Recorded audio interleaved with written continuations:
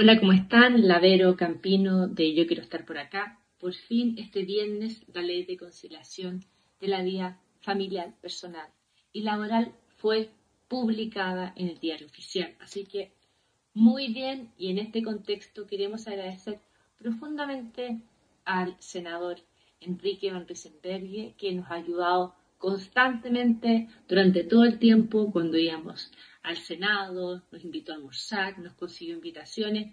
Así que muchas gracias, un agradecimiento muy especial al senador el día de hoy y ojalá que podamos seguir haciendo cosas y seguir sacando proyectos en beneficio de cuidadores y cuidadoras de nuestro país, en especial de la región de Biobío. Así que un abrazo muy grande y muchas gracias al senador y por supuesto ahora estamos al debe con el sector público y esperamos ser el próximo pasito.